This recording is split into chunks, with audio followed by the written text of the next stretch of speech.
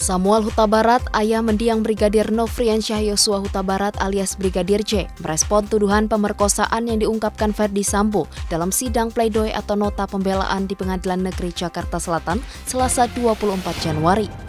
Samuel menyayangkan Sambo masih mempertahankan skenario untuk memperburuk citra anaknya. Padahal pernyataan Putri Chandrawati diperkosa dan dibanting oleh Brigadir Yosua di Magelang tidak dibarengi bukti. Tidak hanya itu, menurut Samuel, Sambo juga tidak mengakui telah memerintahkan Richard Eliezer alias Baradae untuk menembak Brigadir J. Ferdi Sambo terus berlindung dengan kata hajar. Samuel berharap kepada majelis hakim untuk teguh menerapkan pasal 340 KUHP dengan memutuskan hukuman mati terhadap ex-kadif Propam Polri itu.